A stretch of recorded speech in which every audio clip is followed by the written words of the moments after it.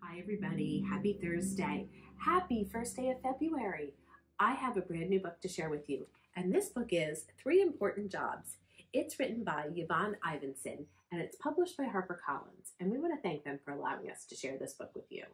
So, are you ready to find out what this book is all about? Let's get started.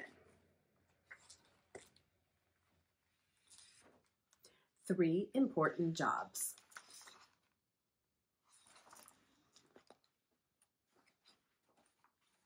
And what do we have here?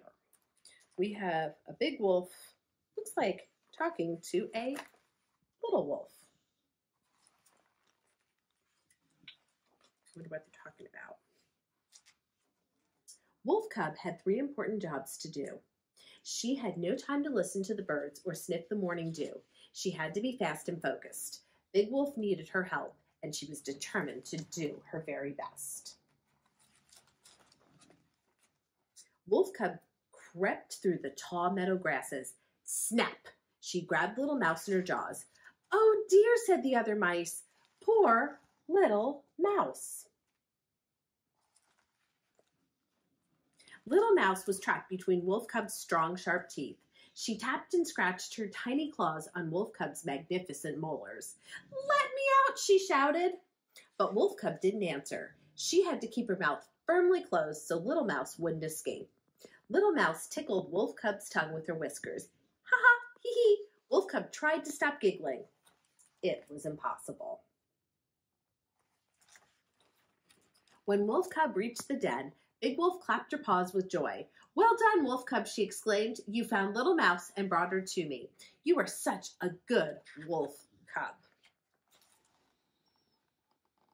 I don't know, Ben. Do our dogs follow directions this well? Wolf Cub gently dropped Little Mouse into Big Wolf's paw. Little Mouse had never seen such a huge wolf with such huge, sharp teeth. Oh, please don't eat me, Big Wolf, she cried. I'm just a mouse. I promise you won't feel a thing, my friend, said Big Wolf. Please close your eyes and we'll go into my lovely den. Meanwhile, Wolf Cub was racing through the forest on her way to her second important job.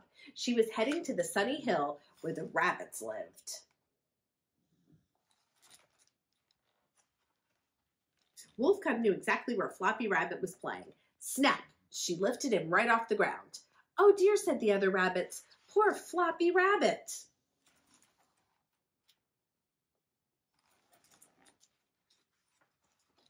Floppy Rabbit was sandwiched between Wolf Cub's fierce pointy teeth. He smacked his long ears against Wolf Cub's splendid canines. Let me out, he shouted. But Wolf Cub didn't answer. She had to keep her mouth firmly closed so Floppy Rabbit wouldn't escape. Floppy Rabbit tickled Wolf Cub's gums with his soft, rabbity furriness. Ha ha, hee hee, Wolf Cub tried to stop giggling. It was impossible. When Wolf Cub reached the den, Big Wolf threw her paws in the air. Good job, Wolf Cub, she exclaimed. You found Floppy Rabbit and brought him to me. You are really a very good Wolf Cub indeed.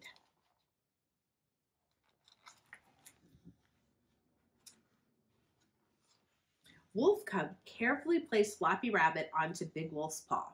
Floppy Rabbit had never been so close to such a huge wolf with such enormous teeth.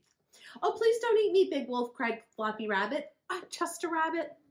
I promise you won't feel a thing, my friend, said Big Wolf. Please close your eyes and we'll go into my lovely den. Meanwhile, Wolf Cub had one last job to do. She had to fetch a sack of soft prickle bushes from Mrs. Hedgehog. She crept through the thorny hedge, careful not to wake the sleeping hoglets and, and make them grumpy. We don't like to wake anything sleeping, do we? When Wolf Cub got back to the den, she gingerly delivered the sack of prickle br brushes to Big Wolf. Wonderful, Wolf Cubs, exclaimed Big Wolf. You've brought me the brushes. What an excellent Wolf Cub you are. Big Wolf rubbed her huge paws together. Thank you, Wolf Cub.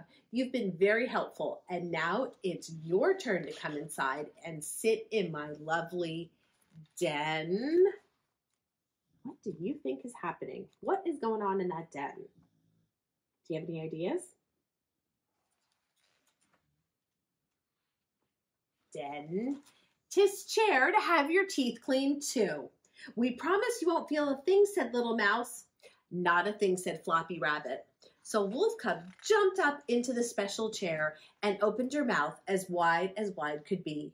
Aha, said Big Wolf, your teeth are beautiful. Who guessed that the wolf was the dentist? Did you guess that? Wolf Cub, Fluffy Rabbit, and Little Mouse each got one of Mrs. Hedgehog's soft brushes.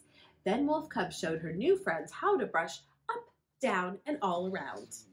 Oh, that tickles me, said Little Mouse. Me too, said Floppy Rabbit. Ha ha, hee hee. Wolf Cub tried to stop giggling.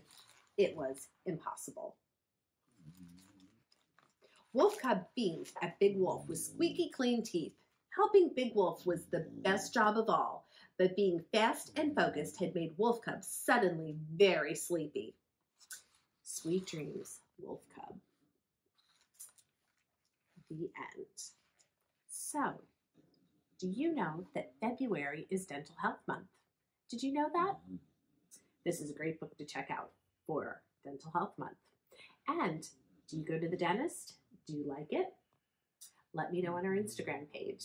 I will be back next week with more brand new books to share. So until then, everybody have a great weekend, and I'll see you soon. Bye for now.